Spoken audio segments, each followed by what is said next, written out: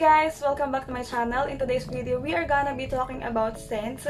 I have here this box. Meron tong laman ng mga 10ml decants of the Victoria's Secret scents that I wanna try. So, bakit decants muna yung kinuha ko? First, gusto kong malaman kung worth it ba sila na kunin ko in full size. So, I have here 9 scents in total. Kaya rin decant yung kinukuha ko para mas marami akong scents na matry at ma-share sa inyo. First, I will show you the scents that I got. I will also tell you their notes, kung ano ba yung scent na meron sila, kung magugustuhan ko ba sila or hindi, or kung willing ba ako nakunin sila in full size. So, if you wanna know more about this topic, just keep on watching. Yung pag bumibili ako ng decan, so usually nakalagay siya dito kasi yung bottle niya ay glass. Na naman yung giant na hindi sila hingatan. Kasi sobrang, ayan, ingat na ingat doon sa box, punong-puno siya ng tape. So, I got these decants from three seller. Tatlong seller sa Shopee yung nakuhanan ko nito. First is si Angela Lim. I will try to put all of their links in the description box para ma-check nyo din. Kasi lahat sila promise, super sulit nila kunan, super approachable nilang seller, and mabilis din silang ma-ship. The first seller that I will share to you is the Chic & Co on Shopee. I will put the link in the description box. Another one is Jelly's Shop. I'm not sure, or basta kay Angela Lim, ilalagay ko rin yung link niya, and lastly is Jessa Hunsay. Lahat sila super worth it bilhan, lahat sila mabait, lahat sila approachable, and also meron din silang mga freebie. Sometimes ang freebie nila are chocolate. ilalagay ko dito kasi may pa Starbucks yung isang seller sa kanila, ilalagay ko dito yung picture na nakuha ko kasi nainom ko na yung Starbucks. Ayan, another, yung isa meron pa chocolate, yung isa merong an, parang extra na scent. So, lahat sila talaga sulit, wala kang lugi kapag sa kanila kakumuha. Secure din yung packaging nila, mabait sila kausap, madali silang mag-ship and so on. So, ngayon, ipapakita ko na sa inyo kung ano yung mga scents na meron ako in this box. So, medyo na-miss ko talaga mag-review kasi marami akong ginagawa. Nakalagay sila sa mga ganitong bottle. Kagaya nung unang pinakita ko sa inyo. Ayan, glass bottle spray siya. Ito. Ayan, sobrang cute. Tsaka nakaka-addict talaga yung decants kasi ang sarap nilang i-collect. Ayan, dito siya nakalagay. And then, yung isang seller na nabilihan ko dito. Glass din siya pero mas makapal yung yung lalagyan niya tas medyo maliit. Ayan. Ganyan. Pero 10 ml din daw to. So, Guys, meron tayong improvements sa buhay. Ayan. Wala na yung mahiwagang notebook natin kasi hindi tayo nakapagsulat ng mga sent notes kasi hindi ako prepared sa video na ito. Pero masasabi ko pa rin sa inyo yung mga sent notes nila kasi, ayan, hahanapin natin, isa-search natin sila. Okay, so mag-start na tayo. First, dito muna tayo. Um, at first, I decided to create a video per seller, pero masyadong hahaba at masyadong dadami siya. So, I just divided it into two. This first part is yung mga Victoria's Secret finds ko, and then sa another part, or sa another video ay yung mga Bath and Body Works that I'm not sure kung mafe-film ko ngayong araw, pero share ko pa rin sa inyo. Dito muna tayo mag-start sa mga glass bottle na to. First that I have in here is the ito, very famous Vanilla Lace by Victoria's Secret. I will try to put their pictures somewhere here in the screen para makita nyo kung ano talaga yung itsura niya. This one is the Vanilla Lace, ayan. Actually, wala talaga siyang scent notes kahit saan, kahit saan ako magtanong, kahit yung mga nakakausap ko about scents, wala talaga siyang scent notes. Pero ito yung itsura ng Vanilla Lace, ayan. Ganyan yung itsura niya. Etong vanilla lace yung sobrang sikat sa Victoria's Secret, especially yung mga vanilla lover talaga, yung mga mahilig sa sweets and sa gourmand. Ito yung pinakaamoy eh, parang vanilla extract, as in straight up vanilla extract. Pero ito yung madidescribe ko siya as musky vanilla. Sobrang sarap ng amoy niya, as in sobrang creamy niya.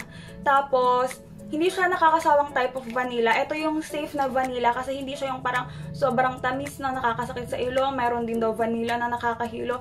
Which is hindi ko pa na-experience kasi mahilig talaga ako sa vanilla. I can, I can describe this one as parang straight up vanilla nga.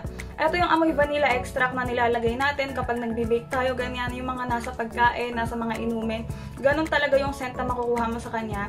Wala na akong ibang masasabi ka dito kasi parang halos lahat naman tayo na gumagamit ng Victoria's Secret. Alam to, the sad thing about this one is this one is continued. So, sobrang hirap niyang hanapin na makakahanap ka talaga ng authentic.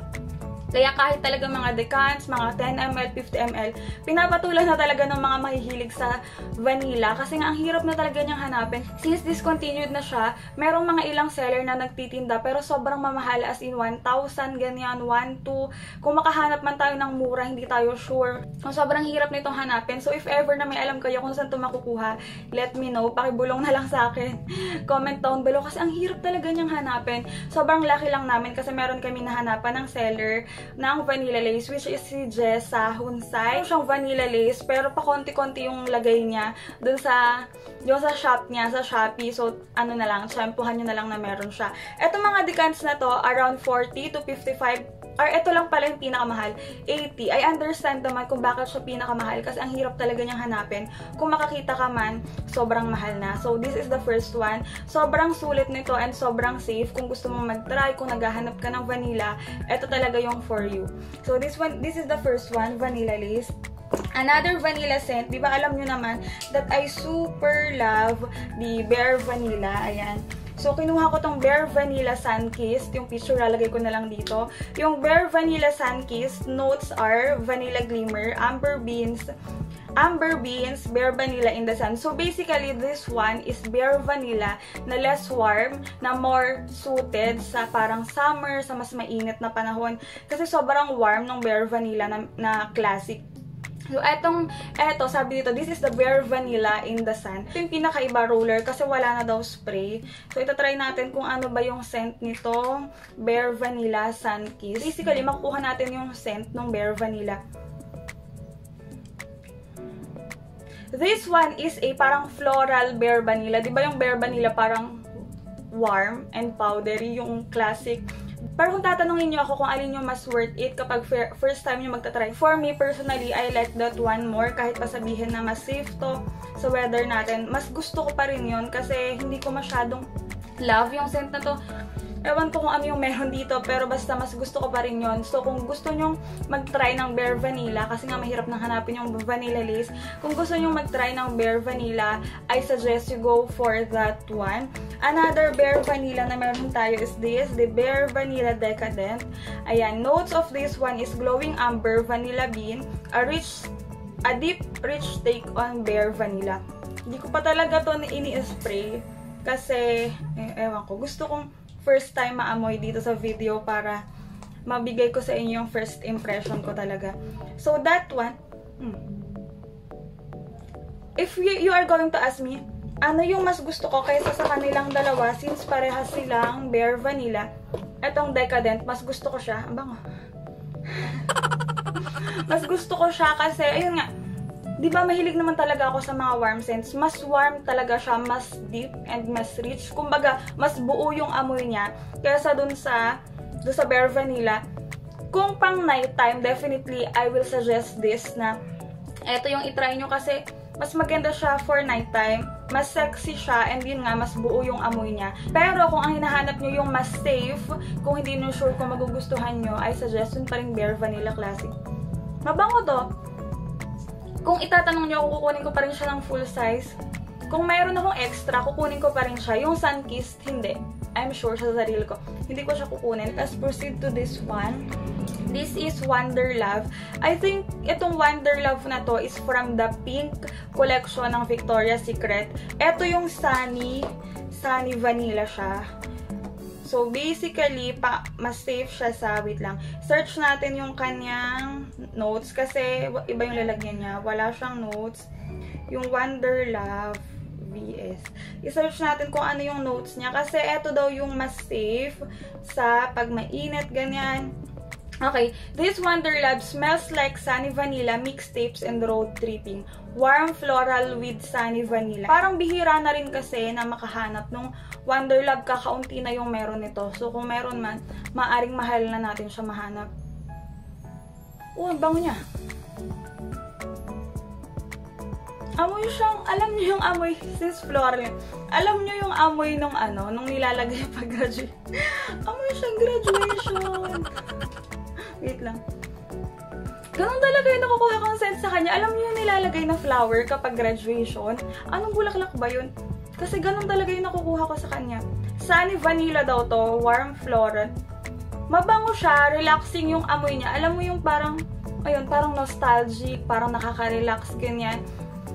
I can say pwede nga to sa summer since floral siya. Hindi siya yung warm na warm na talagang amoy pagkain. Ayun, hindi to yung type of vanilla na amoy pagkain. So, kung ang hinahanap nyo ay vanilla na amoy pagkain, I suggest you go for vanilla lace or bare vanilla classic.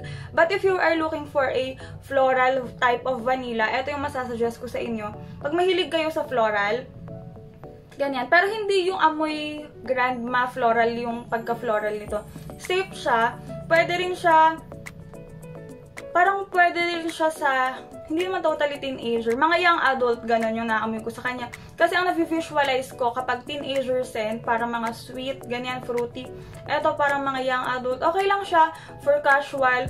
Pasa din siya, papasa din siya maybe sa mga date night, ganyan. Kasi meron siyang floral, ba Yung mga floral, safe siya sa date night, ganyan. So, this one is, ah yes, kapag makakahanap ako ng mura, kasi kakonti na talaga yung meron nito eh. Kapag makakahanap ako ng mura, I can say, pwede ko naman siyang kunin in full bottle. Next one is this. Marami tayong ano, busin natin to. Next one is this Vanilla Remix from Victoria's Secret. Again, wala siyang nakalagay na notes. So, we are going to look for the notes nitong Vanilla Remix. VS Vanilla Remix hindi ako nakapag-ready talaga ng ano,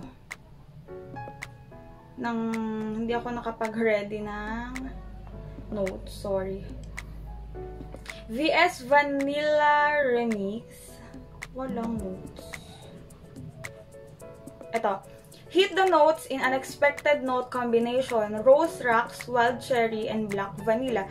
So, this one is also a floral vanilla kasi rose rocks and wild cherry.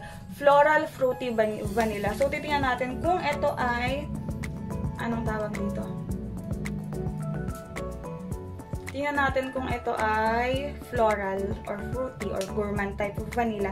Yung mga gantong lalagyan, ayan, yung may mga pa-shimmer, di ba sobrang cute. Nakuha ko to kay Jessa Hunsay. Ayan, link down below Or ako lang. Parang yung scent niya, hawig sa ano, hawig sa vanilla lace. This one is more gourmand kung i-compare natin siya sa Wonder Love. I like this one more kasi hindi talaga ako ganun sobrang ma-floral eh. Pero I like this. Pwede siyang dupe actually. I don't know. I'm not sure. Pero sa pakiamoy ko, pwede siyang dupe ng vanilla lace. This one is a calming creamy type of vanilla. Ayun, parang creamy siya na vanilla. Ganyan. Amoy pagkain type of vanilla warmer siya kaysa do sa Wonder Love kasi medyo fresh-fresh na yung Wonder Love. Pero ito okay to. Kung gusto niyo ng vanilla lace, pero ano siya, toned down version. Kasi ayun talaga parang straight up vanilla extract yung mga amoy mo. Medyo matapang. Hindi naman totally matapang na in a bad way. Matapang siya in a positive way na talagang amoy na amoy mo yung pagiging vanilla niya. So yun yung gusto, kung yun yung gusto niyo, pwede, nyo, pwede na kayo magsimula na maghanap. Pero ang hirap talaga niyang hanapin. I swear. Pero this one, okay siya ha mabango siya. Kung gusto niyo yung ganon, yung parang ganong vibe, pero hindi siya totally ganong ganon yung amoy, you go for this one, Vanilla Remix. I love this. Bango niya. Sa mga vanilla lovers dyan, this one, Vanilla Remix, is a yes for me. Meron pa tayong dalawa from the Chic Co. Actually, binigay lang nila to sa akin, itong Vanilla Sparkle. We also have this Vanilla Dust. Bigay lang nila sa akin. So, thank you so much. Sobrang mabait talaga ng mga seller na to. Promise, wala kayong lugi. Kahit parang konti lang yung bilin nyo, ganyan. Meron sila talagang pa-freebie. Ayan. Unahin natin tong Vanilla Sparkle. Gamit ko na ba to? Wala, wala pang amoy. Vanilla Sparkle, ayan, nakalagay siya sa ganito. Makapal yung bottle niya ha.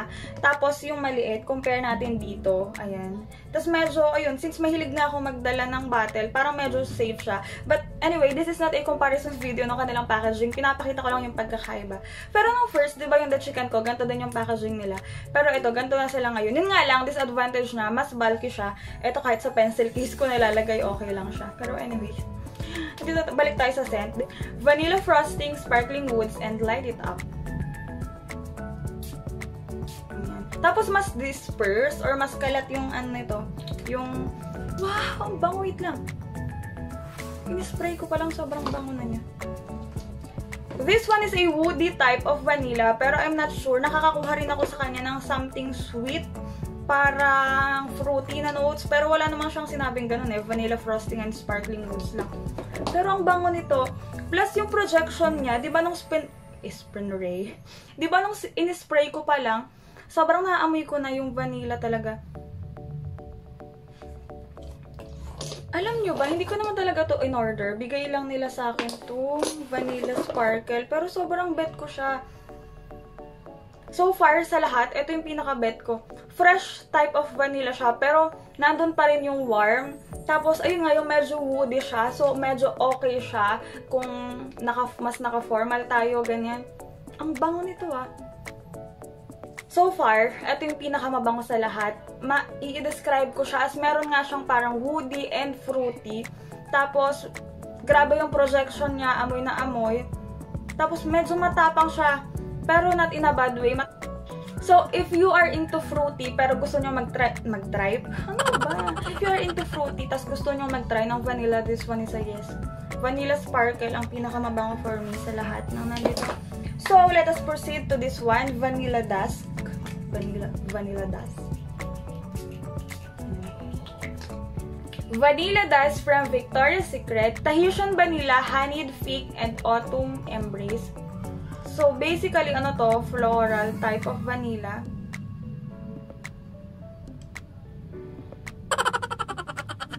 Wait lang. Sabihin nyo sa akin na vanilla yung pangalan nito kasi I can't find the vanilla scent. Honestly. Tahitian. Ano ba yung Tahitian vanilla? Tahitian vanilla, honeyed fig, and autumn embrace. Warm to, pero hindi ko talaga mahanap yung vanilla. Kung wala siyang vanilla sa pangalan, I don't know sa inyo, pero sa akin, hindi ko aakalain na vanilla dash siya. Kasi hindi ko talaga maamoy yung pagiging vanilla niya. Pero this one is a good or nice scent. Okay naman siya. Yun nga lang, nag-expect ako since may vanilla siya sa pangalan na mag-aamoy talaga siyang vanilla. Pero hindi ko siya masyadong maamoy. Ang naamoy ko dito is warm floral, ganun.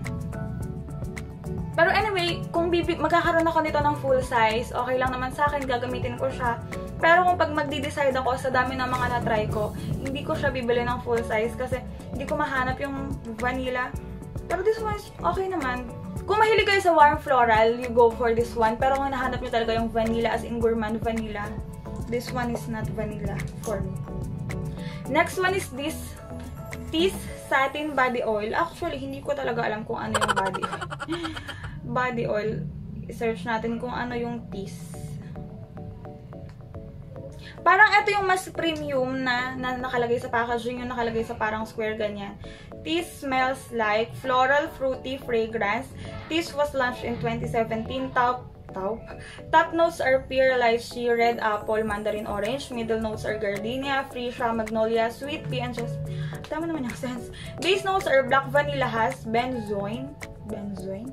Chocolate, chocolate, sandalwood, mask, and amber. Sobrang dami niya at sobrang complex niya.